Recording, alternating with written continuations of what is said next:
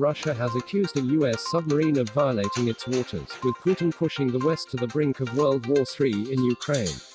Russia's Ministry of Defense has said a Virginia class submarine entered its territorial waters around Urup and ignored demands for it to surface.